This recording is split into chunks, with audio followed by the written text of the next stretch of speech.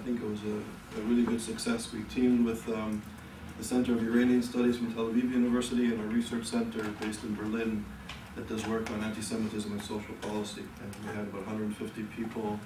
There were scholars and sort of, I guess, political activists and journalists there. So it was a really great success. And then on a positive note, and I think it's important because we hear about all these depressing uh, things which are serious and they need to be analyzed and studied and made, people, students need to be aware of.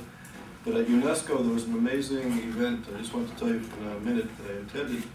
It was a project, and they just launched a website. It's called the Aladdin Foundation. And um, there were literally there was about 3,000 people at UNESCO, and it's people who are dedicated to teaching the Holocaust to the Muslim world.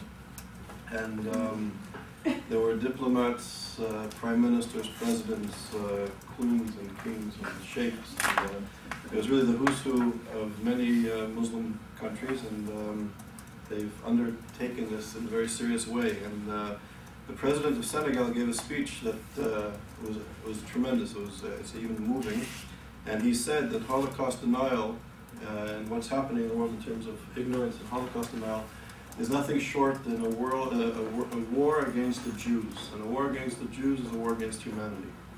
And he was, it was amazing. And there were people, you know, diplomats from UNESCO, and people from uh, throughout Africa and Asia and the Middle East there. And uh, it was really something. So there's, it's a, a project that you can get access to on the internet. And it is really uh, an impressive beginning to a project. The, the Shoah Foundation is working with other organizations and governments from around the world. So there's also so there's good things happening too. So I wanted to let you know the good news. Um, so today uh, we're very honored that uh, Corinna Guttstadt has arrived today and is, is our visitor. She's going to be speaking on the title of her talk is "Shifting the Shifting Faces of Anti-Semitism in Turkey." Uh, Karina is a research fellow currently at the U.S. Holocaust uh, Memorial Museum in Washington, D.C. She's a scholar, a translator, and a, freelance, a freelance uh, translator from, of Turkish and French. Um, she's basically in the process of receiving her PhD from the University of Hamburg. She's expected to defend her thesis uh, next month in, in Hamburg. Um, she's, uh, she's engaged in Turkish studies, history, and the teachings of foreign languages there. Um, she's written on she's written articles on issues of uh, anti-Semitism in Turkey. She wrote an article, "The History of the Turkish Jew, Jews in Berlin from the 19, in the 1920s and 1930s and Their Fate During the Shoah." She's written an article about Turkey's role as a transit space for Jewish refugees to Palestine during World War II, and and the like. She's published various things. I know she was just at the University of Indiana and impressed uh, all of the scholars there very much. I've all sorts of wonderful things. So it's really an honor that you came here to share your work with us. So, so welcome. Thank you for the nice. Thank you for the nice introduction. Thank you for the invitation, and thank you all for coming. And now I have to make this run in a way. this Good.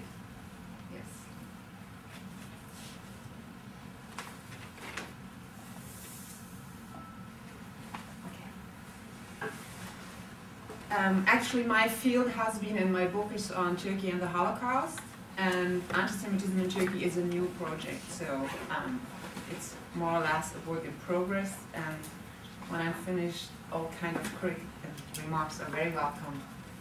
And that uh, what I'm going to present has not been the topic of my PhD. My PhD is Turkey and the Holocaust. Okay. During the Gaza War, Sorry. What's happening here? During the Gaza war in January, Turkey witnessed an enormous eruption of anti-Semitism throughout the country.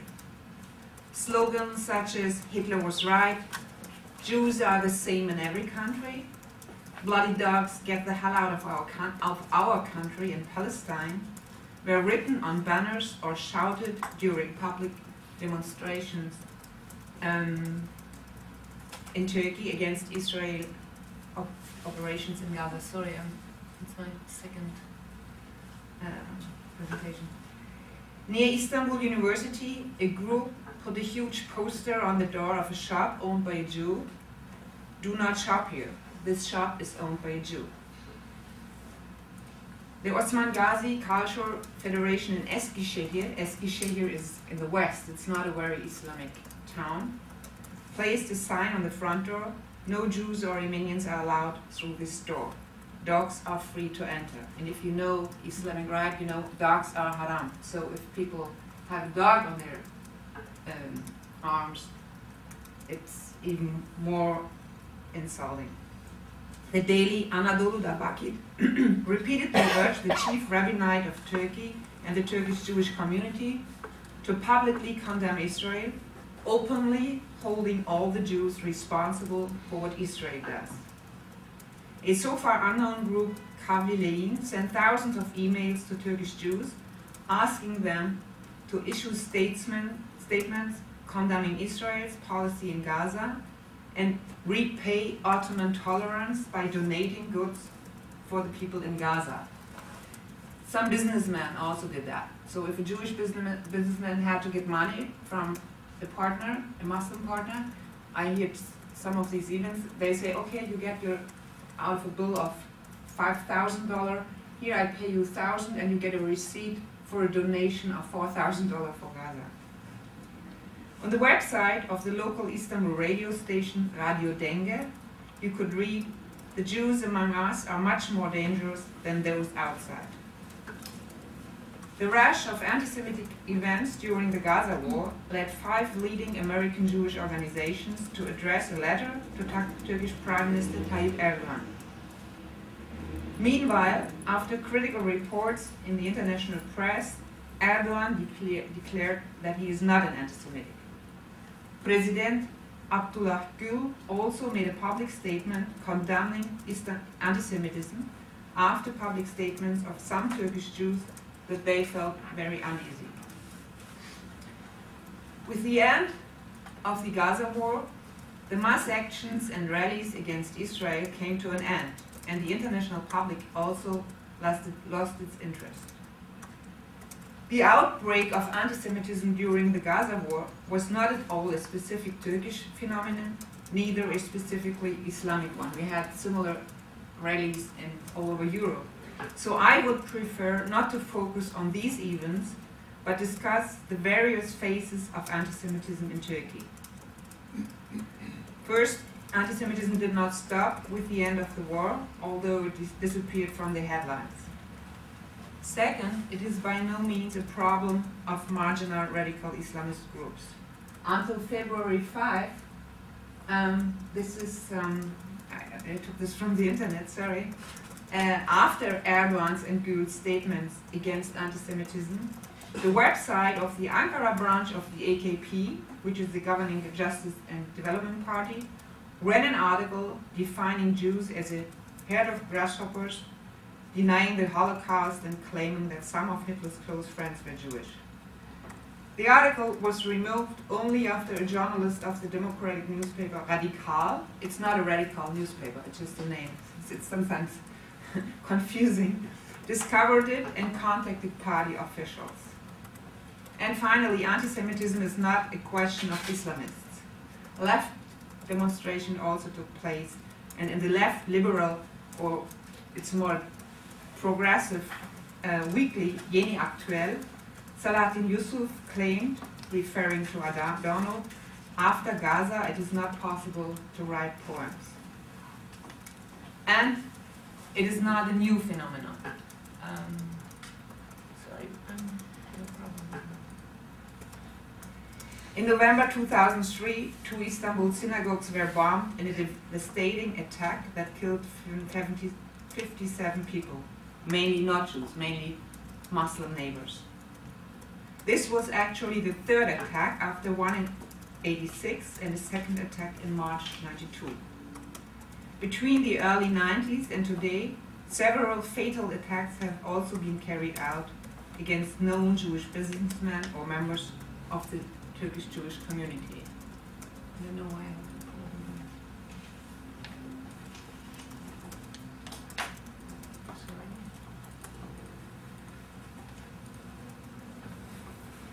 Anti-Semitic publications have a soaring sales figures in Turkey for years. The Turkish translation of Mein Kampf in Turkish Kavgam has been a bestseller for several years, and the Turkish edition of the Protocols of the Elders of Zion, here you have, this is a picture I took at, book, at a uh, train station, and this is normal, you have at all the train stations or street corners, things like that, and here you have the protocols somewhere, and this is of um, Harun Yahya. He has a so-called foundation, and it's his books do not have some anti-Semitism; they are really pure anti-Semitism. And here you have, you can buy the set, the Zionism set, six books for only 25. Thanks. Some were even shown as part of the official Turkish exhibit at the Frankfurt Book Fair in 2008, where Turkey was the official guest. A 2008 Pew Global Attitude Survey suggested that anti-Jewish sentiment in Turkey was rising. 76% of those surveyed say that they had negative views toward Jews. Three different views exist on anti-Semitism in Turkey. US media and some researchers in Israel consider anti-Semitism primarily or exclusively as a phenomenon of the Islamist forces in Turkey. The Turkish government and representatives of the Turkish Jewish community under the pressure, of the government deny its very existence. Scholars of Oriental studies frequently emphasize that there was no religious-based hostility towards Jews under Islamic rule, for instance during the Ottoman Empire, they consider anti-Semitism in the Near East exclusively as a reaction to the Israel-Palestine conflict and as an import from Christian Europe. All three of these explanations disregard the specific conditions of Turkish historic, history and society. In fact, until today, little research has been done toward Turkish anti-Semitism. In Israel, Jacob Landau had published some articles during the 70s, and in Turkey, of course, there is Rifat Bali, who has published several books. But main, most of them in Turkish, so they are not received in the Western world. What I'm going to present is more a work in progress than a finished result. So any remarks and criticism you have are very, very welcome. In the following, I will first give a short overview on the situation of Jews during different periods of the Turkish Republic and the emergence of different forms and components of anti-Semitism due to the different historical situations.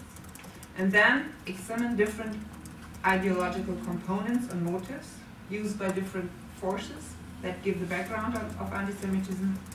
And finally, lay out responses to anti-Semitism in Turkey. I won't go back to the Ottoman Empire, I just want to emphasize that the Islamic, Islamic-based Ottoman rule did not know religious hatred towards Jews. Christian and Jews were both tolerated as so-called dhimmis at the condition that they accepted the superiority of Islam.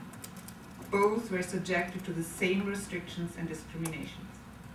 However, Christian anti-Judaism was quite widespread and increased during the 19th century among the empire's Christian population and among European Christians, like the Damascus affair, I guess you know this blood libel, and infected sometimes also the Muslim population. The threat from the Christians towards Jews in the Ottoman Empire facilitated a rapprochement between the Jewish minority and the Ottoman or later Young Turk leadership and led to the Jews becoming sometimes of a, something of a token minority, is that a saying in English? So to present, look how good their situation is. However, elements, elements of modern European anti-Semitism were at, at the time translated into Ottoman Turkish. For instance, in 1880, by one of the most important publishers on this period, Tevfik Ebüzziya.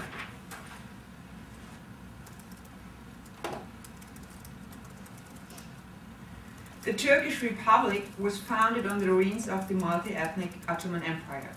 The declared aim was the Turkification of the economy, society, and the population.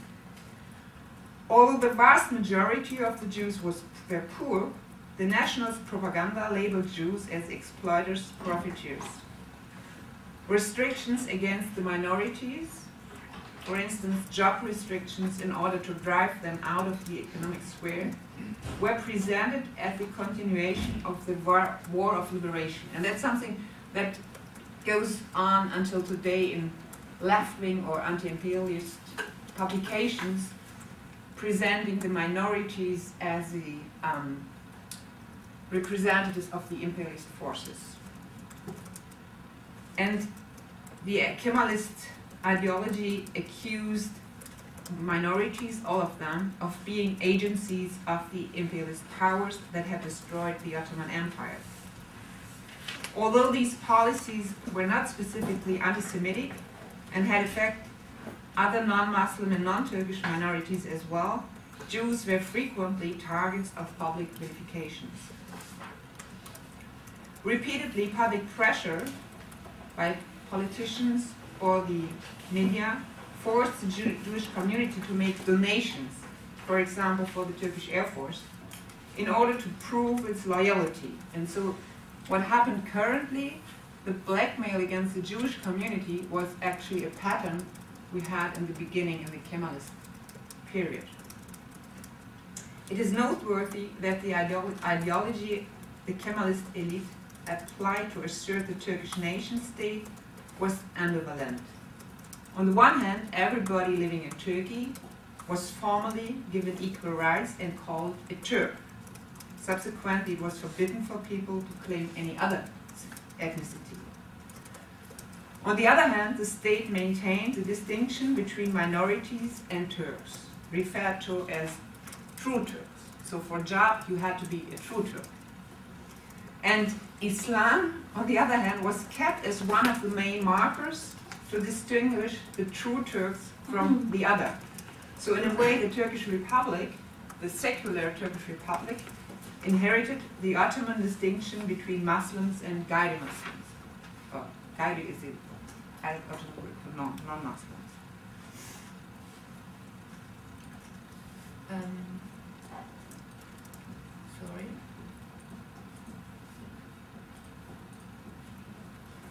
During the 30s, we can observe a radicalization of nationalist politics that at time took on racist traits. In order to achieve the Turkification of the population, the government encouraged the immigration of hundreds of thousands of Muslims to Turkey. The settlement law empowered the government to dislocate the population of whole regions. This was mainly used against the Kurds, but affected the Jews also. An amendment to this law empowered allowed the government to strip people of Turkish citizenship if they were regarded as culturally not Turks. So this is, for example, a decision I found in the archive in Ankara, stripping Jews, Jewish family in Erzurum from citizenship for bad ambitions and bad manners. This was not very frequent, but it showed the spirit of the time. This policy had harsh consequences for Jews. First, the displacement of the Jews from Turkish Thrace, in, which is the European part of Turkey, border to Bulgaria and Greece, in the summer of 1934, a region that had had a significant Jewish population for centuries and was kind of part of the heart of the Sephardic Jewry.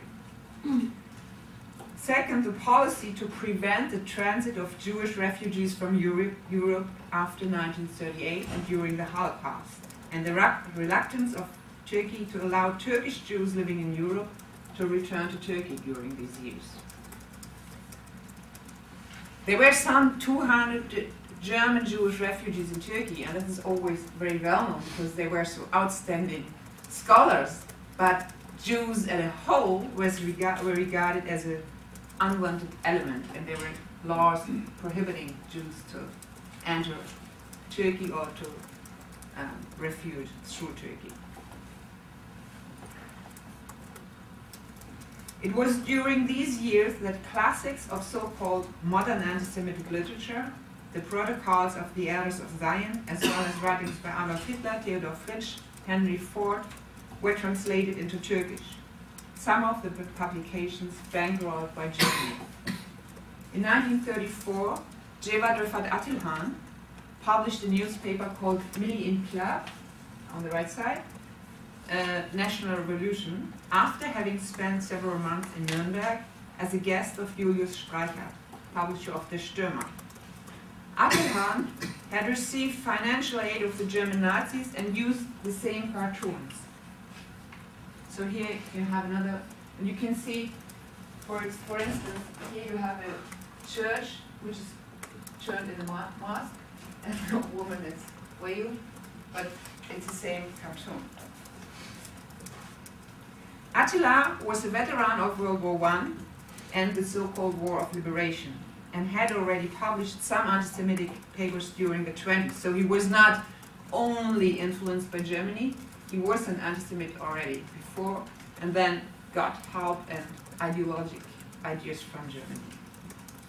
During World War I, he was stationed in Palestine and was involved in the oppression of the Nili group. I think you know what's a Nili group?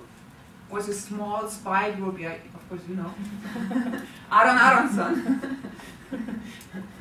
was actually there were some youngsters from the first Aliyah from Romania in Palestine. And Aaron Aaronsohn was a very um, beautiful agronome. He found the wild emmer. So he became famous on a world He came to the United States, was invited, whatever. And during World War I, Kemal Pasha, Jemal Pasha, who was the, um, the commandant in chief for the Turkish or Ottoman army in the Arab lands, started to deport or dislocate the Jews of Palestine. And the Nili group was a small group of actually two families, the kids of two families, spied for the British. And this, and Sarah Aaronsohn was tortured to death, and or she killed herself, but she was um, very hardly tortured. And um, the first books of Atilhan uh, covers, he published early in the 30s, uh, cover the alleged Jewish betrayal. The hero or the anti-hero is Sarah Aaronsohn of his book. And Jews in Palestine are characterized as a snake that we, the Turks, nourished at our breast and who betray us. So I think it's important to notice that the Palestine question was one of the earliest topics of hatred against Jews. Primarily not religiously motivated, but nationalists. They betrayed us, and so Palestine uh, went to the Jews and the Arabs. In today's publications on Palestine, this is still a very important topic. That's something different from the Arab countries. It's especially we, the Ottomans, owned these lands and they betrayed us. Beside Atilhan, who was to become a founding figure of Islamist anti-Semitism in Turkey, extreme nationalists like Nihal Atsız were also attracted by German Nazi ideas and anti-Semitism, and he became a founding member of the Turkey. However, Atilhan's paper Milli İstiklal was forbidden by the government, but the military reprinted his anti-Semitic novel and distributed 40,000 copies to military units. So the stand of the government during this time was really very ambiguous. Although Attilhan and Atsız can be considered both as extremists and were publicly criticized by several Turkish intellectuals at the time, anti-Semitic stereotypes and the same kind of cartoons found their way into mainstream publications. There's an interesting work of a colleague of mine comparing anti-Semitic cartoons in, or Jews in, in cartoons in Turkey. And prior to 33, there were cartoons against everybody, but after 33, they took this style of the German anti-Semitic um, paintings or drawings. Sorry.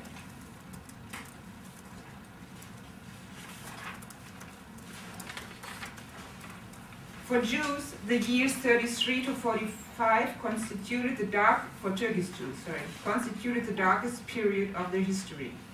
Beside the above-mentioned expulsion of Jews from Thrace, the so-called wealth tax, an extraordinary tax that was used to strip Jews and Christians of their property and assets. Those incapable of raising the arbitrarily set and often astronomical amounts, had their property auctioned off. And these auctions were very often public amusements. So now we get the assets of the Jews. 1,200 people, both Jews and Christians, were sent to forced labor camps in eastern Anatolia for their incapability to pay the tax. And in these auctions, really, people were everything taken out, taken out of their houses. So some Jews who arrived as refugees from Europe, some Turkish Jews who could make their way back, they found their relatives living without furniture. These measures, of course, were not at all comparable to the persecution of Jews in Germany or in German affiliated countries. But the humiliating climate and the expropriation led to the immigration of about half of the Jews from Turkey in 47 48. The immigration of these Jews again was accompanied by a hostile campaign accusing the Jews for lack of patriotism. After 46, in the aftermath of World War II, or more, more precisely in the course of the Cold War, Turkey became a partner of the Western Alliance, of the NATO, and an associate of the European Community. Introduced multiple party system and free market. In terms of our topic, the following events of this period, are noteworthy. First, the emergence of radical small fascist and Islamist parties. They were predecessors, sorry, of what were to become mass movements during the 70s. Both of the above-mentioned anti-Semites, Atilhan and Atsız, both who were connected to Germany, were founding members of these parties.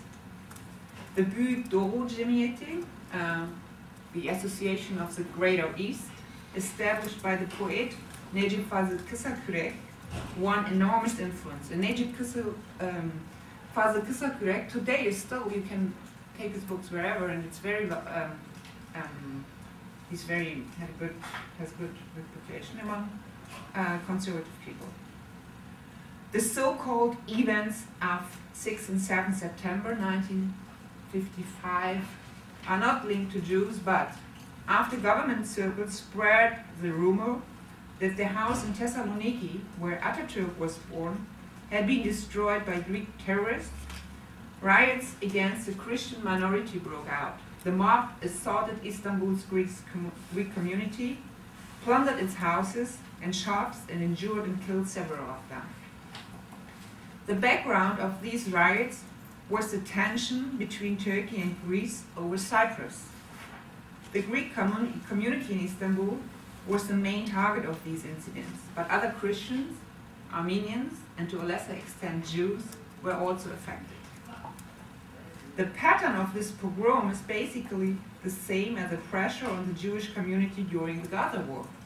Minorities living in Turkey, and citizens of Turkey, of course, are considered responsible for what their alleged external government does, and thus become hostages.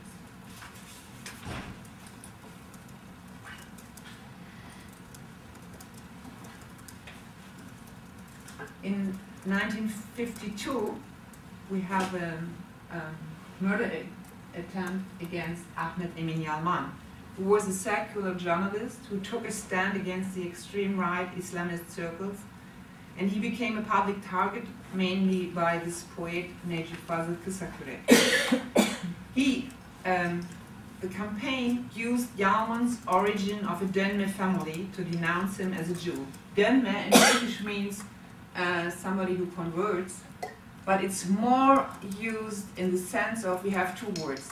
Ihtida is the Arab word, and it's more used if somebody converts to another religion. Dönme mainly is used against the followers of Sabbatai Zvi in Saloniki or other places of Turkey. And um, today this is the main topic, I will come back to that, but it's already in 52. And a lot of people who were from Dönme families or who were alleged to be from Dönme families played a, an important role in the press and intellectual life in, in secular press in Turkey since the beginning of the Republic. So they always this Dönme always became a target uh, identifying Jews with progressive intellectuals, Jews running the press. And um, this book is the memoirs of the perpetrator. Yalman survived this attempt, and the perpetrator, uh, Hussein Üzmez, spent several years in prison, then came out, and until last year he was a very accepted uh, journalist in Turkey. He went to jail last year again for um, abusing a 13-year-old girl. And during the trial, and nobody talked about that he was, uh, this thing was already forgotten. And I read his, or I didn't read it, I looked into his memories, and he describes the murder attempt because it's interesting that gives the thought of these Islamist right-wing people. He writes, 30 million Muslims against one dead did not intimidate Yalman, the journalist. Yalman had studied in Columbia University and had America behind him. We felt so inferior, and that enraged us and made us furious. So I think this is one of the motivations on this side. The above mentioned Javad Rifat Atilhan published during 50s and 60s a large number of horrend anti-Semitic books. The main topic of his book, Yer Yüzünün Hakiki Caniler, Yani Jews, the main, um, the true murderers and ogres, appeared in 62, and the main topic is a kind of Holocaust denial. He says actually the Jews are responsible for uh, the World War and for all the murdering. That's interesting because at that time Holocaust denial was not a topic internationally. And I just found this book, it's normally not mentioned. Atilhan, until last year, was on the um, homepage of the Turkish Minister for Culture and Tourism, among all other writers. Now they put up this homepage, but not only him. They actually, I think they reconstruct their homepage. But he was shown, presented as one of Turkish uh, authors to read. And this book was not mentioned, I just found it accidentally in the Library of Congress, and I was really shocked by the fact that it, the main topic is Holocaust denial in a time when it was not um, a topic. I have to. May, so there's there are two possibilities. Either he was in contact with German Nazis at that time, I think, or maybe he fought in the 48 war against um, Israel. There were some volunteers from Turkey who went there.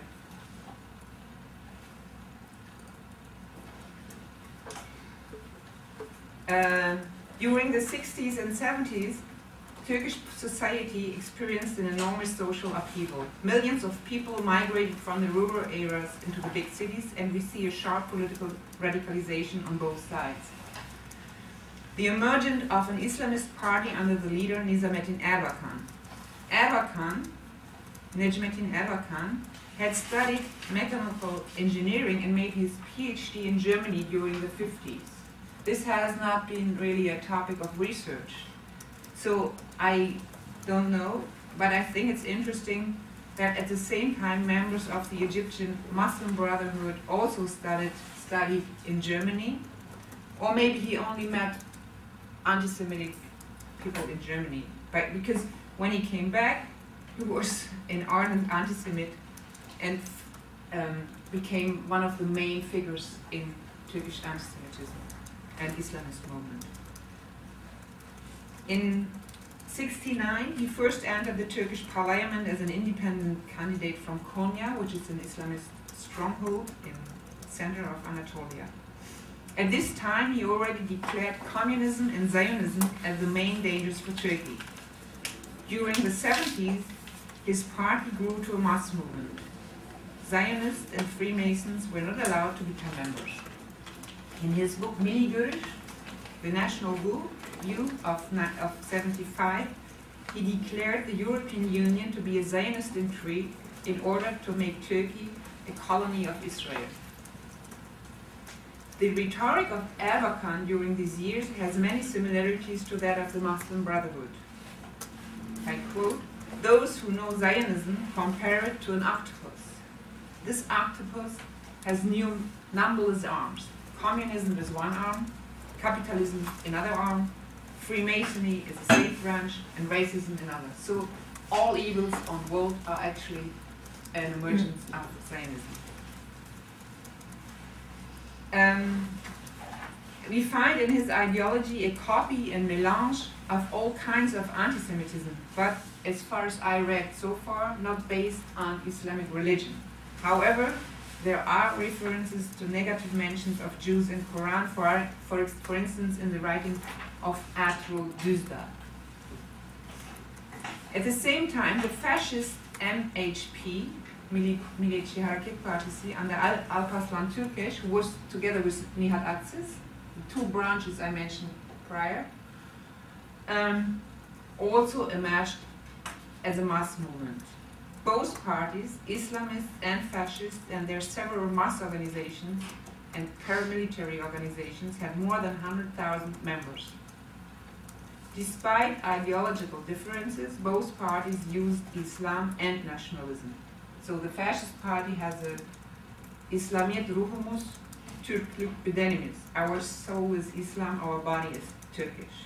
And the Islamists also use Turkishness. So of course there was always, and until today there is a struggle um, on power between them and there are ideological differences, but both are ardent anti-communist and anti-Semitic and anti-Western. The violence at the edge of the Civil War during the 70s, maybe there were hundreds and thousands of uh, thousands of killings of democratic people, either people in the trade unions or uh, writers or whatever. And so I guess this is one of the reasons why the impact of anti-Semitism during this period never attracted much international attention. But it is safe to say that anti-Semitic ideas during this period already had an enormous impact. It found also its way into scholarly work.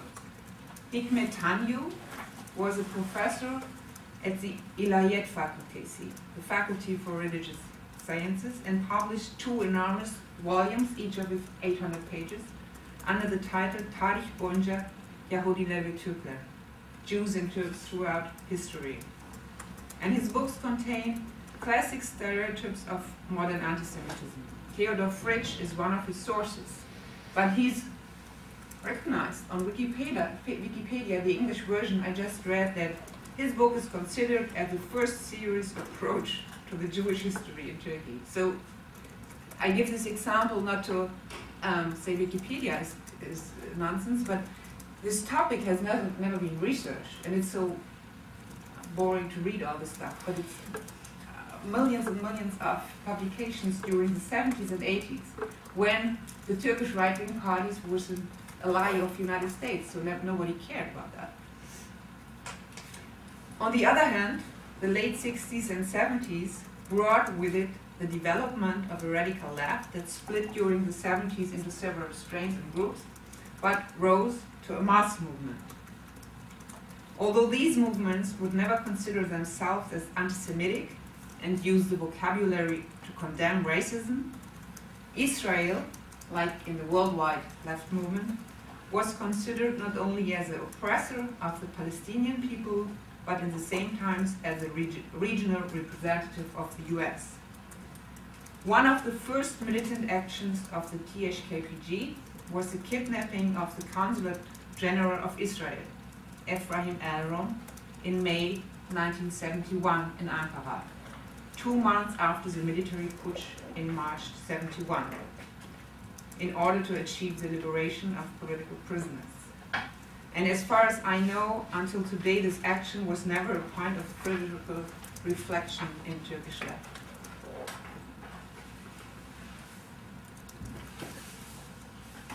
The 1980s, above all marked by the military putsch of 12 September, brought several important changes. It was followed by a period of strong political repression. Almost the whole generation of students and young intellectuals was affected either went to prison or to exile, and all kind of books, including much of world classic literature, was banned, thus weakening the democratic and progressive intellectual circles. Second, the assumption that the NATO and mainly the US security forces supported the Turkish military and so-called special forces enforced the already existing anti-Americanism and all kind of conspiracy theories. So among Turkish left wing, it's like in Latin America. They went through all these tortures, so and they know or think or whatever, United States is guilty. The Islamic movement grew to two fact factors. First, the military government spread Islamic propaganda all over the country. This Islamization from above pushed for the Turkish Islamic synthesis, an amalgamation of Turkish nationalist and Islamic ideologies. Is, so, for example, in universities, uh, Islamic ideology became mandatory. It was, this was again the secular army. On the other hand, the worldwide rush of the Islamic movement due to the emergence of the Islamic Republic of Iran. Another factor is important for the discussion in Turkey. An indirect consequence of the putsch of 1980 was the blending of the existing, existing polit political fronts in Turkey. The coup and its aftermath led to a fundamental questioning of Kemalism by Turkish progressive intellectuals who so far had subscribed to the idea of Kemalism, now undertook a new evaluation of history.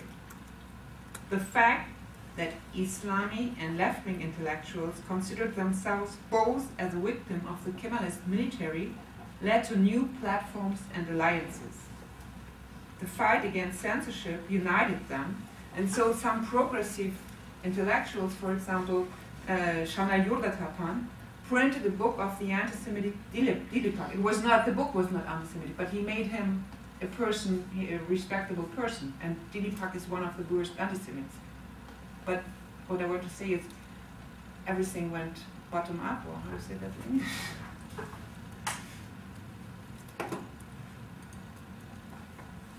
Over the course of the 90s, the Kurdish uprising which had developed already in the 70s, became a mass movement. The violence during these years marked the whole society and led to a growth of Turkish nationalist mobilizations until lynchings we had in the last years. And um, the involvement of state and military agencies in a series of extra-legal operations and its collaboration with Islamist and fascist underground organizations enforced the growth of conspiracy theories all along. More than 15,000 homicides are perpetrated by unknown people and often by people linked to the state forces. So there are hundreds of books on these conspiracies and people try to find out. Of course, conspiracy theories are widespread among all groups Islamists, nationalists, Turkish, Kurdish, and leftists are extremely receptive to conspiracy theories, and from this kind reductionist worldview, it is only a short path to anti-Semitism, since everybody knows who runs America. So the Kurdish, the president of the Kurdish PAN, when Germany took a um, decision to forbid PKK, the president of the Kurdish PAN, Haidar Ishik, said, yes, but we know Clinton and Fischer, we know they are all Jews. So when they become a target, of course, in the spirit of these people, everybody is a Jew.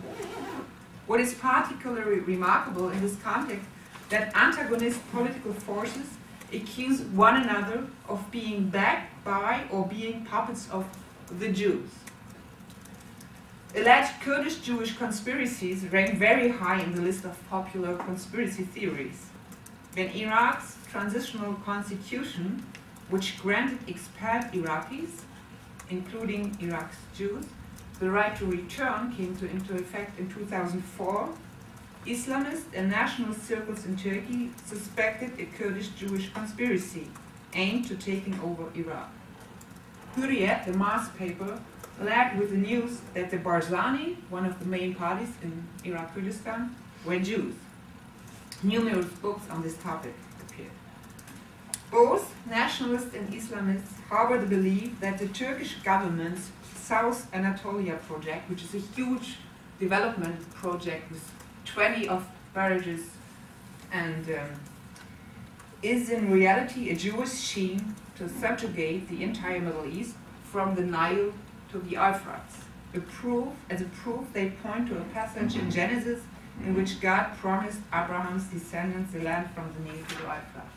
But this is very widespread belief in Turkey. On the other hand, the Kurdish movement, for their part, held supposed Jews responsible for Turkey's repressive policy towards the Kurds. In the mid-90s, after the military alliance between Turkey and Israel, publications sympathetic to the PKK published a number of incendiary anti-Jewish articles. And, okay, I will try to... So this is Mahir Kaynak, taught, as he's a professor, he taught economics for many years, first at Istanbul University, and served for 10 years as an official, officer in the Turkish intelligence agency MIT, Milli İstihbarat Teşkilatı. He writes as a columnist for the centrist, mainstream Turkish daily Star Gazette, so he's not an extremist, or he is what he is, not viewed as one. Because of his background as an intelligence officer for a long time, he became an often interviewed expert on counterinsurgency operations. This is from an interview with Neşe Düzel for the center-left liberal Radikal, where he states that there is no Al-Qaeda, it's a code name for CIA operations.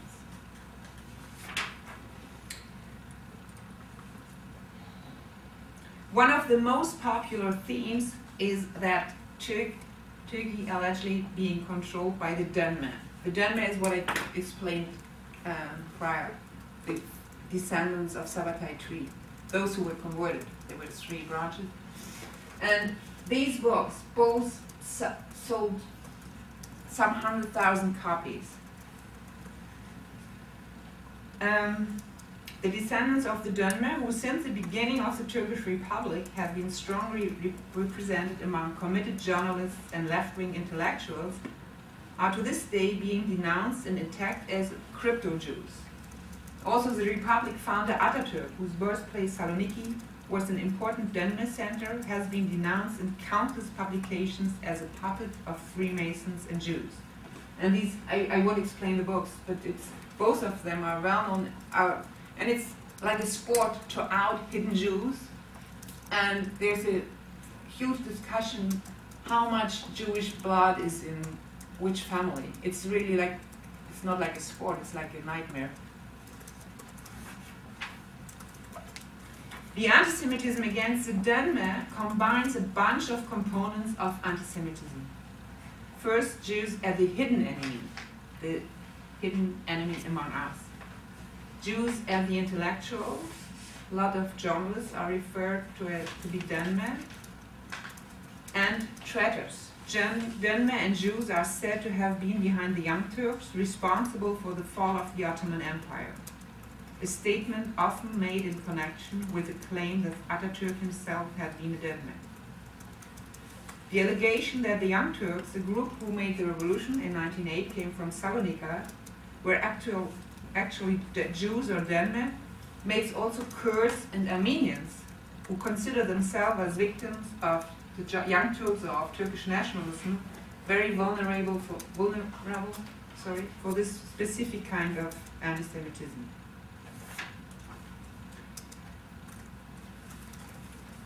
And the last one, sorry, is Jews as guests.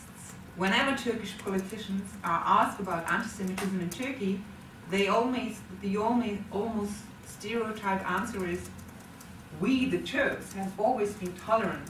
We opened our doors for the Jews. Erdogan said, Tayyip Erdogan, the prime minister, said to Peres in Davos, my grandfather welcomed your grandfather. And he stated that repeatedly towards representatives of the Jewish community, and he was not the first. These books are the memories of um, Bensiyon Pinto, who for about 30 years has been the president of the Jewish community in Turkey. And the last 30 pages are letters of Turkish politicians, and most they have this kind of statement: "Yes, we welcome you, so we like you." And unfortunately, the Turkish or parts of the Turkish Jewish community in the 500 Years Foundation also promote this kind of gratitude because we are the guests. In fact, this discourse makes the Jews tolerated guests who enjoy their host society's hospitality and is expected to be appropriately grateful and loyal in return. This, on the other hand, puts the Jews in the position of hostages who are always under pressure to prove their loyalty. When in last year the American Congress was about to vote a declaration on the Armenian genocide, Turkish Foreign Minister Babacan said, if America is going to vote to, to make such a declaration, I can't guarantee for the security of the Jews in Turkey. So they are always used as kind of hostages. And I see I have run out of time. Um, actually, I have uh, two more topics, the different strains of anti-Semitism and the responses, but we can leave that for the question part. Sure. Okay. As you wish. Sorry for using so much time. Thank you. So who would like to start? How do you drive your presentation with the relationship between Turkey and Israel?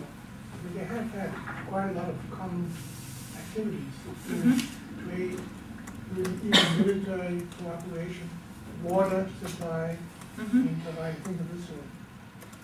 Yeah, the water that Israeli um, business is engaged in this um, Anadolu project um, is used by this conspiracy It's part of the. Abraham story. Yeah, yeah, exactly. Now they are taking. But I meant the that, I thought Turkey had promised to provide Israel with water. Yes, but this is the water from the Euphrates. I see, it's part of that deal. Yeah, it's no, it's part also part of this ideology because it's it's water of the Euphrates. Uh, I don't know how you how you pronounce it. Euphrates. Euphrates. Euphrates. Oh, sorry, Euphrates. Yeah. so it's it's a Euphrates who goes to the Kurdish uh, regions of Turkey, but uh, mainly the military alliance and the economic alliance um, has an interesting effect because even the most hardcore Islamists, if they come to power, when Erbakan, the most ardent anti-Semitic of Turkey, was on, in power, he signed the, the military alliance with Turkey. So this is funny, and then they know, as a person who is a prime minister, I have to restrain from open anti-Semitism. But um, of course, on the bottom of the party, you have still the same thoughts. But when Erdogan came to power, the party split.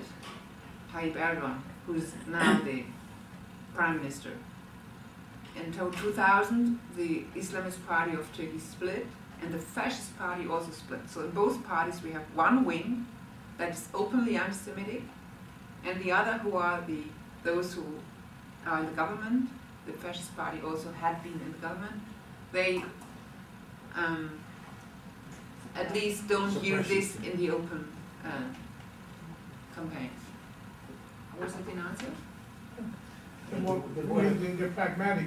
Yeah, it's actually it's realpolitik, but I'm not somebody who, who is going to think, oh, what what may be his hidden thoughts. In the official uh, rhetoric of Erdogan and of the MHP today, they restrain from these kinds of holidays. Yeah. Uh, I thought it was a very interesting uh, presentation. You raised the problem that actually the UN itself has had to cope with, because a lot of this activity is not state precipitated or state sponsored. It comes from other groups within the so-called civil society who become powerful enough and sometimes are in the state. But it's very hard to distinguish what is from the state and what is not. And when one misses the distinction between uh, the Durban Conference, in which it was the NGOs who expressed so many of those things that you have shown so strongly, by the United Nations Peace that evicted people from the compound. It would suggest that one has to think very carefully of who one attacks and who doesn't and what you do about strengthening, strengthening and protecting the moderate elements in states who also wish to oppose fascism. And I was curious if you, uh, had, what kinds of solutions you can see, if any, to this, you know, the things you couldn't talk about, the responses to it, et cetera. So if I, I'm gonna take the liberty to piggyback the question onto your question. I, I just heard Bernard Lewis speak a couple of weeks ago. And, uh, he was saying that basically, that he's, he's sort of writing off the Turkish, uh, state, the bureaucracy, um, that it's being sort of infiltrated by radical Islam, Mhm. and that he sort of writ- writ it off, wrote it off to a large extent, and, and as well as the, Oh. the Gov- Bernard Lewis. Ah, Bernard Lewis, Yeah, yeah. um, and he's basically, he pinned his hopes on the military. Yeah. So, so, I know that's the position So of the United States and Bernard yeah, so given, so given what you said about the history of the military, right, Yeah. what hope is there? If it's true that radical Islam is infiltrating the bureaucracy in the state, and the only hope, according to some, is the, is the military, but the history of the military is so checkered, how do you see, what, what's the projection of Turkey? Maybe I can add one more phrase. Would you say that uh, the character of the Turkish anti-Semitism is more driven by Islamic thought, or is it more affected by Western ideas? What is the major driving force? So I think there's, there's two questions, maybe if you focus on, at least, focus, can you focus would like on the to- state? Oh, Uh-huh. that went off, because I have one here with, with different strings, I would like, actually. So, I hope it works, because I ran out of battery, um, I'm running out of art. Yeah. So these are the different motives, and you find them among a lot of different. Today, the basis of people who ran the rallies is mainly voters of the right-wing Islamist parties. We don't, we mustn't confound or mingle up. The AKP has large voters among liberal urban population. This is a common prejudice, is that word? Prejudice? Prejudice. Prejudice, sorry. In United States, or the, the farther you go, everybody thinks, yes, the Islamists. And the voters of AKP are not all blind Islamists. That's not my point of view. Um, the, the problem is that you have a very false front. You have seen these huge manifestations when the military tried to forbid the AKP. And a lot of liberal persons supported the AKP. And see what's that? We have had putsches in this state for 30 years. And if a party is voted by the population, we have to accept it. And it's true that the AKP, in a lot of points, made much more progress. For example, during the prior nationalist government, it wouldn't have been possible to discuss openly the Armenian topic. And there is still a lot of pressure. I, I don't, I'm not, I, I'm not a fan of Erdogan's policy, but mainly it's also nationalist. So you have this wrong front, and the liberal or progressive intellectuals are divided into two camps, into two wrong camps. One are quite blind towards the danger of Islamism. I show this example.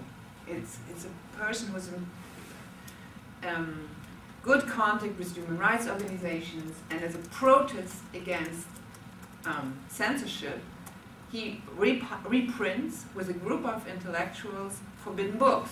But he reprinted one book of this ardent anti-Semitic. I think he didn't even read it, but this is not an excuse. On the other hand, and most of the Jewish community, or at least the spokesman or spokespeople of the Jewish community support the Kemalists, but going, uh, this is a mixture of fascists, Kemalists, and ardent nationalists. So um, I don't know whether this is a very good choice. And you have what is very widespread among Islamists is the, the European uh, modern anti-Semitism, the protocols and things like that. But it's very seldom based on, for example, Quranic verses. You have some, some mixture of that. Even um, the party who is more Islamist than Erdogan, the Saadet party see, what they, their main position is we have the Ottoman heritage to defend it. When, that, when Erdogan came back from Davos, I have a photograph on that, um, he was referred to as a hero, as a national hero, and as the new leader of the world. There were no Islamist um, slogans. It was mainly his, um, the history is written by the brave leaders. And he said, "This is an interesting flag. Look at those flags. Yeah. This is a Yeah. wow, I, Palestine, Turkey flag." yeah, but that has a reason because it's for, the, the AKP fears to be, to be forbidden again. Mhm. So Abdullah Gül gave the order not to take uh, green flags. If you want to take Palestinian flags. So, but it's there is nothing of um, Hamas or whatever. You have Hamas-friendly demonstration, but the main topic is we have been the masters of the Ottoman Empire. We have been, and for example, the And also um, there was in the. Where is this located, sorry? this is in Istanbul when Erdogan came back from Ga- from Davos. Okay. He was the national hero. But he was not so much a national hero because for anti-Semitism, but for um, paying back to the West. And that's a very important um, motive in Turkish anti-Semitism, the um, betrayal. Oh no, that's not the right one. But I, I don't want to lose the time. Also, the kafir was made into a Turkish symbol, in the previous picture. Yeah, There was a, the what? the kafir, the Palestinian kafir was made into a Turkish kafir.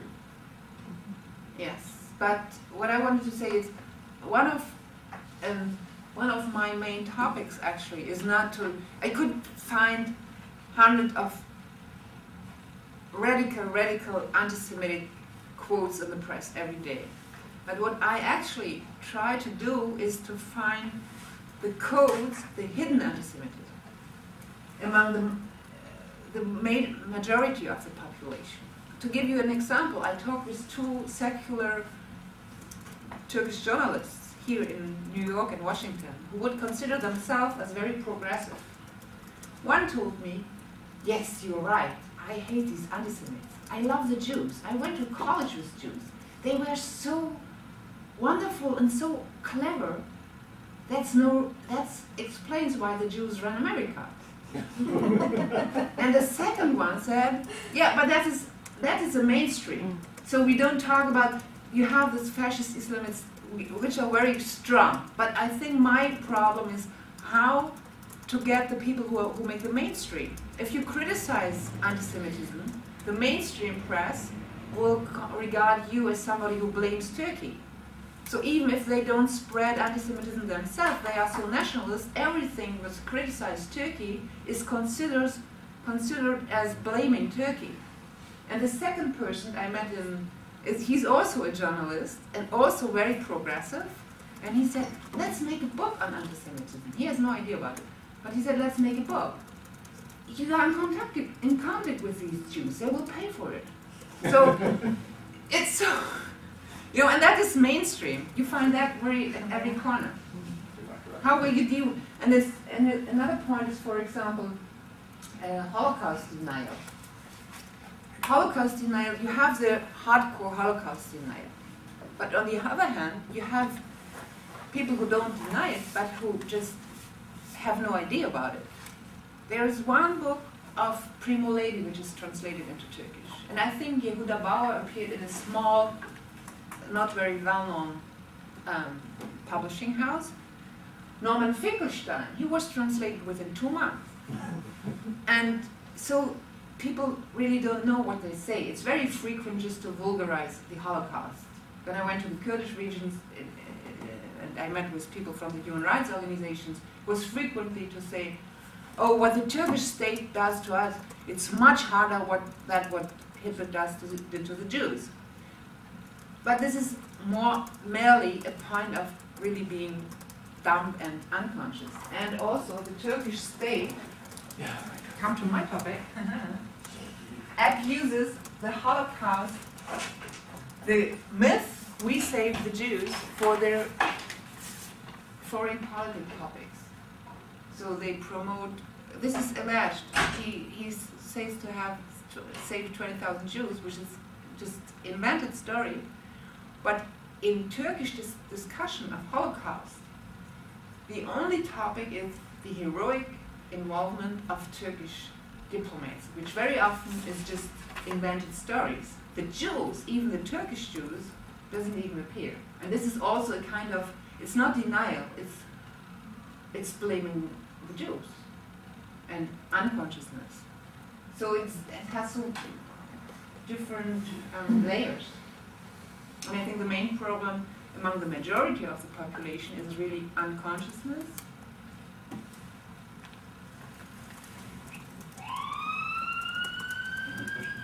No. I I have a question related with uh, the book, uh, the books you presented. They, uh, let's say that seems very consistent in a way or another, but uh, they it seems to me that they ask for a serious or dedicated reader. And uh, when it is a radical uh, political culture, and uh, as we talked about the rural masses who are, who, who are uh, who became uh, urban, um, a sign of this radicalization are the brochure, the little, the little books, the posters, the caricatures, the, all of this uh, very incisive and uh, very accessible uh, uh, information. And uh, do, do, do you, did you meet on the street or on these public squares where uh, they're very easy, easily to be spread this kind of literature, which are not so serious books, yeah, but very little books or very, you know what I mean, They, first of all, they are not little, they are not, they are big thumbs. Yeah, that's what she said. She's No, asking. but I think. Did you see pamphlets have an being answer to that. Yeah, another kind of there is a, also another kind of literature. Are you not serious literature, you say? uh, it's not a literature; it is another way of expressing radicalism. It is Propaganda. a Small yeah, amounts it's propaganda. brochure, little books who, magazines. who, which do Ah. not ask for a serious reader. They ask for they Ah, just uh, ah. give the incisive, uh, radical, uh, impressive, and uh, very shorthand information. And uh, anti-Semitism it's uh, very well spread in this kind of way. Or, for example, in public uh, spaces or in campuses, you can see posters or uh, this uh, brochure, not uh, serious books. One very, um, first of all, you have television with kind of very hardcore films from Zahra's Blue Eyes. I don't know whether you knew this film. It's, it's an Iranian production, blaming Israel for getting children to murder them and then take their eyes. Mm-hmm. That have been shown in Turkey, and you have a very national, series, Kurtlar Vadisi, the Valley of the Wolves, which is mm-hmm. mainly nationalist, but also anti-Semitic. And brochures, I, for example, in the nine, it's now ten years ago or twelve years, in the nineteen five um, electoral campaign, the Erbakan I mentioned very often, who was the leader of the Islamist um, anti-Semitism, he uh, diffused a propaganda brochure, "Who Runs the World? Jews." I didn't see leaflets, but I, I'm not so frequently in Turkey, and I go, it depends on which area you, go. But you have it in, in press, you have it in the normal press, and you have it, I didn't, I dropped that in the internet, of course. If you, just make a try, give in the word Yahudi, and you will have a million hits, and ninety percent is anti-Semitic. Also, as of last year, Turkey, there were twelve publishing houses publishing the protocols Yeah. of the Elders of Zion in Turkey. No, uh, Mein Kampf. Okay. I the, it could be Mein Kampf as well, but definitely the protocol. Yeah, maybe.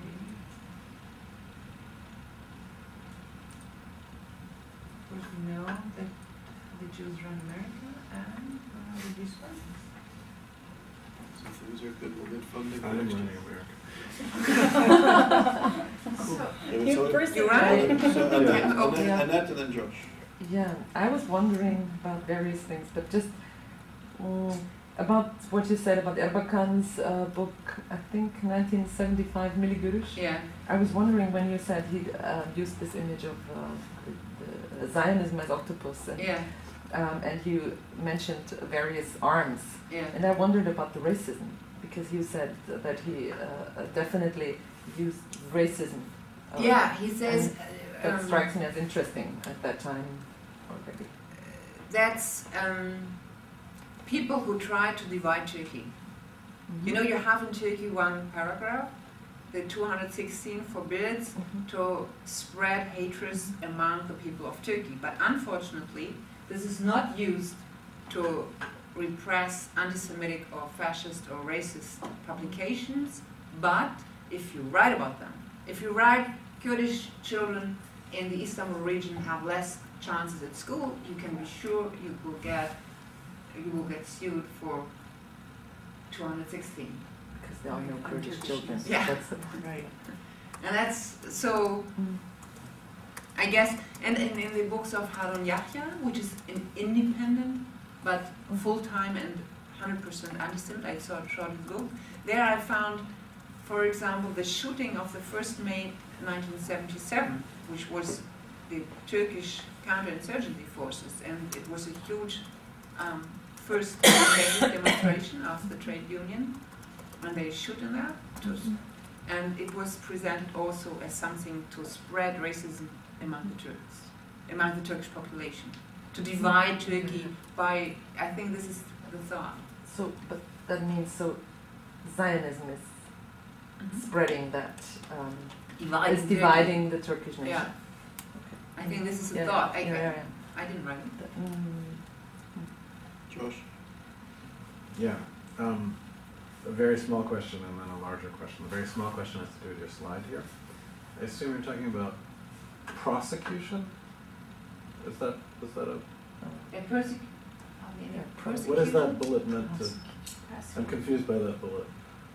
Um, The first one, hardly any persecution of anti-Semitism. persecution is that isn't. Maybe prosecution. I. Prosecution, yeah, sorry for You my English. le- you mean legal Legal- process? Yeah, sorry. No, that's fine. I just wanted to make sure because that's interesting.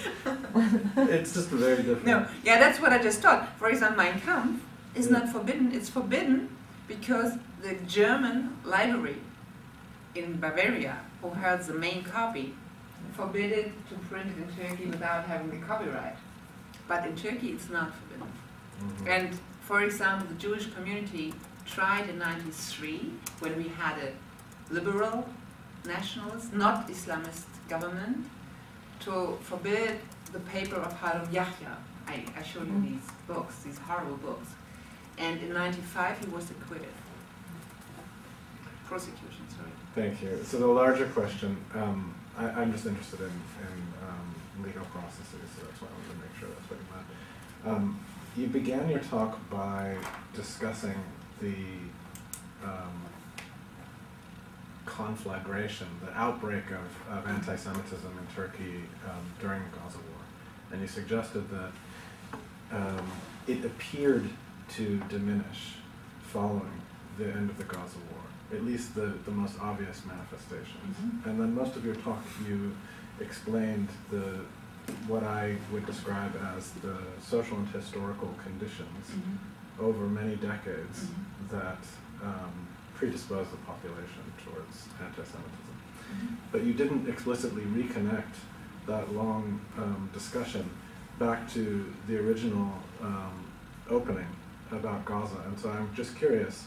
I, I can imagine how you would explain it, but I'd like to hear in your own words how, how you connect those. Is it just that the Gaza, for example, one explanation is the outbreak of the Gaza war serves as a pretext to um, vent hostility against Jews that's already embedded in the as a result of these social and historical conditions. That would be one example, but I assume there are other, you would probably have a different way of explaining it. No, I, I actually I said I uh, try not to discuss that because the discussion of the Palestine conflict is not a question of Turkey. It's a question we have in um, all the countries. You had demonstrations in Germany, in France, whatever. So Sure, it but was in, how would you Um, explain it in, in Turkey or in any country in Europe then? yeah, but this um, that's such a huge topic, and um, I agree, with it. I'm just, no, it's it's of course it's part of the strains of anti-Semitism in Turkey. mm, It is linked to, first of all, Islamist, nationalist, and left wing people always have seen the Palestinian as our brothers for different reasons. The left wing considered them as one of the worldwide uh, liberation movements, like the left wing people all over the world. mhm, The Islamists saw them as our brother in faith, and the nationalists say this has been our lands, and now it's taken by Israel. And this recent outbreak, so it was not the first time during the um, Lebanon war, there were huge demonstrations, but now it's also, I told you that the Islamist party split into parties, Mhm. and there is a Islamist, a fascist party which has very Islamist, uses as Islamist. I, I try to avoid to give you all these complicated party names who, who are under, uh, very often forbidden and then re-emerge because that would be. But Erdogan, in a way, is under pressure because the more Islamist groups, the Saadet party, use this and we have an electoral campaign. So when he came back from Davos, everybody said, that was good, but we know he won't go on. He has to cancel the contacts with Israel. He has to, con- to cancel the alliance with Israel. But if these parties would be on power, they wouldn't do it. So that's the other, that's the flip side. Yeah, just as a point, I was in Israel when this thing happened between him and uh, Shimon Yeah. Peres, and it was major, major news in Israel. Yeah. It was really something that I've never even seen in my years living in Israel. The news really, it was like twenty, for twenty-four hours, it was, this exchange was really covered. Yeah, but there were a lot of reasons. Erdogan was trying to negotiate with the Hamas, and he didn't know that this attack would. And so he felt. I, that's possible that he really felt betrayed, betrayed by. Why did you send me to make these negotiations and don't tell me that you were going to attack them? And he was, and he's known for a person who loses his temper. So I don't even think what that he it was a theater. Maybe it was a theater just two weeks, uh, three weeks prior to the elections, but and uh, he won enormous prestige among all. Can I just add one, sorry, one last bit to that question? So this is part of the explanation of why um, anti-Semitism seems so obviously inflamed at the moment of the Gaza war. Then how do you explain why it seemed to so quickly go away in its most outward manifestations? Do you read Turkish newspapers every day? No, no, so I I don't. know, but yeah. No, I'm I just saying, based on your, uh, I said your presentation, it, it it seemed skipped from the headlines because- because we had an electoral campaign. that's what I'm asking. What, Yeah, what no, happened no. after? I think the. Um, You suggested that the, the outward manifestations went Yeah. away. What happened afterwards? That's what I'm asking. I don't, I don't, I don't know because I don't live in Turkey and I don't live in Turkish. yeah, first of all, I'm here since six months, so I just follow the process over the papers and I try to, to, to focus on the everyday anti-Semitism. Okay. Because the discussion about Palestine is another discussion you have in other countries as well. So I try to, to, to lay out which different factors contributed to the everyday anti-Semitism in Turkey, Okay. which is, which give the background to be So we have, we have a few more minutes, so I'm, I'm not wants to ask a question. Is there anybody else who would like to ask a question? Okay, so Anat, and then you want to ask one quick one after? You- I, I just, she has- yeah, yeah. Oh, okay. Um, so you're saying that you just you were thinking about everyday anti-Semitism in Turkey and not the big things. And sort of what I was wondering is what what do you think is, is unique or interesting or different about Turkey? Because as you were telling the story, I was thinking, well, this could be a story about I don't know Romania maybe or Poland or other Eastern European countries we study in the sense that anti-Semitism was maybe less implicated after the Holocaust in the sense that anti-Semitism is still in everyday language and it's still around and it's still you can buy these anti-Semitic books and you can you know Mhm. hear these. Um, okay, maybe in it's less less out there, but it's still there. You can still go to a bookstore buy anti-Semitic books. You can get the pamphlets. You can hear about Jews running the world. You can hear about Jews running the media. I think it's the same, right? Very similar stories because know, I can tell you about Romania. So I'm asking, what's the? Because when you were telling this, it sounded like a very Euro- almost very European story to me in, in many ways.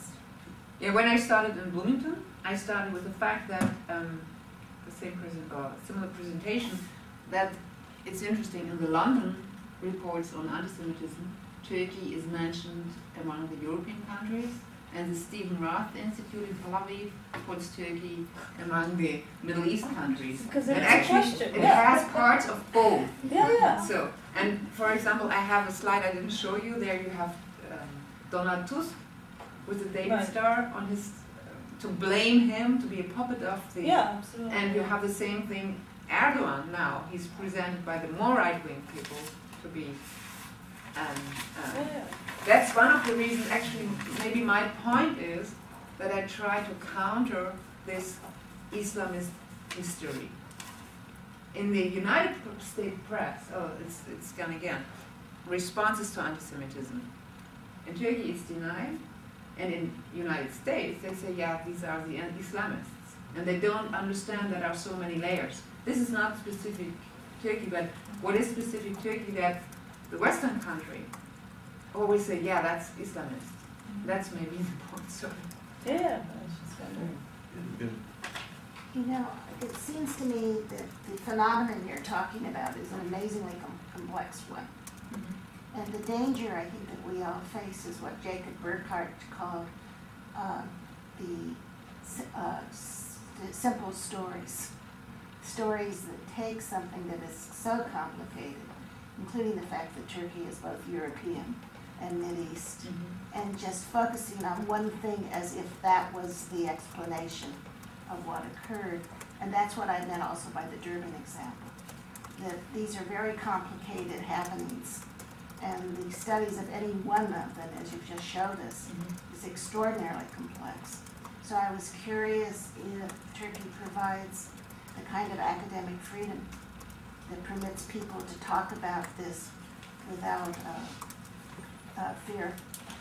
And if, or people who do make such public presentations, uh, both there or elsewhere, need to worry about uh, protection as human rights defenders. um, there are people in Turkey who publish about it. For example, Rifat Bali, he wrote several books on it, and in some press you have it. I the picture actually would disappeared. For the first time, people of the human rights organization made a um, sued these. I showed you the picture of dogs are not allowed, uh, dogs are allowed to not, and they sued them. It's the first time that a civil rights organization makes such a statement, but actually it is a small group of people. In Turkish we have a saying, biz kişiyiz, biz birbirimizi. We are 40 people, we know each other. So these people are also involved in debates on other questions. Um, there is a lack on serious studies on anti-Semitism, but during the last years, in the left and liberal intellectuals, for example, the um, review Birikim, which is one of the intellectual um, on political science, it's a monthly review, and they had two, um, how do you say that, two is- issues with the main topic on anti-Semitism. And I think it would be wonderful, for example, to organize a conference with them together to not to talk about anti-Semitism in Turkey, but to talk with people in Turkey, even with people who are, in a way, weak for some, um, who are not conscious, who don't know what they say. In, sorry for blaming them, but it has never been debated. Good point to end, so we have- we have to leave the room. But I want, uh, two things, just two quick announcements. First, first announcement, thank you very much for coming and presenting a wonderful presentation. And I also want to thank Annette for helping put all this together. Thank you before, so thank you. And if anybody wants to join us, I hope it's okay with you, but maybe we can all go for lunch and continue the conversation. If People want to join? Well, Okay, so thank you. Thank you for your patience and the questions, yeah. It's prosecution. Prosecution. I get it. I get it. But it's, uh, um, it's so the wrong connotation. It's, it's so funny though. What means persecution? Persecution is what Precisely. Yeah,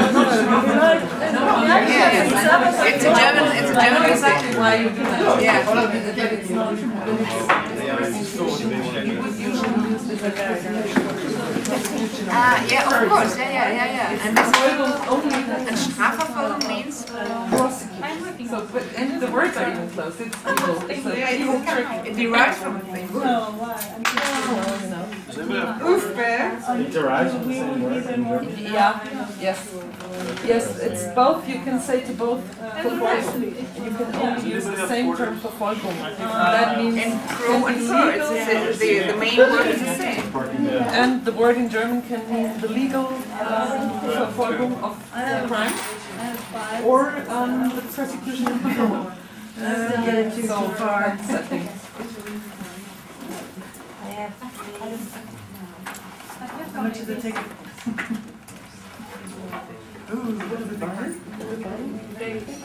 Four? Three. I have, and the fourth would just have to be uh, the So we'll leave from the center? Yeah. Uh, Well, we're going to slip them. Slip them? Charles, are we going to slip them? Yeah.